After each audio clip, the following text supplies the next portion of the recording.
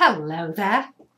We have a new moon in Virgo on September the 16th at 23 degrees.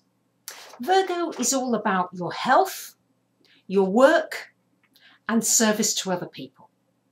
So during this new moon in Virgo, new moons are always about new beginnings.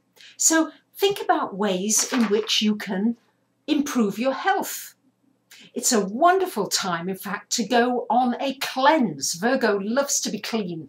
Clean in the home, clean inside and outside.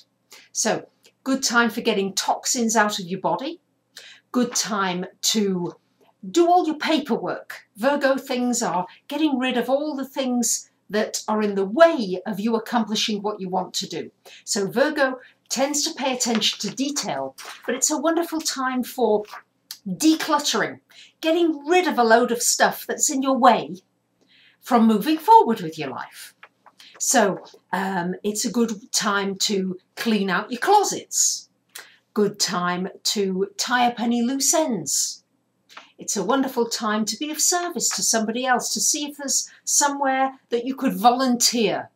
Because always when we volunteer our services and really work for free, with, especially with something that we feel passionate about, it always gives you an uplift, a real uplifting feeling. And those Virgos out there, or people with a lot of Virgo in their charts, always need to feel as though they're doing something that is contributing. So think of ways in which you can contribute during this new moon in Virgo. Good time to simplify your life, get a massage, do anything that's nice for your physical body, but also start a new regime, start a new diet, a new exercise program. Wonderful time for doing that during this new moon. Questions you could ask yourself, well, how could I help people who are less fortunate than I am? How can I take better care of my body? Am I being too critical of myself and of other people. Be careful about being a real nitpick as well during the new moon in Virgo. And also, is my work fulfilling on a soul level? Am I getting enough gratification? It's not enough to have money. Am I getting other kinds of fulfillment from the work that I'm doing?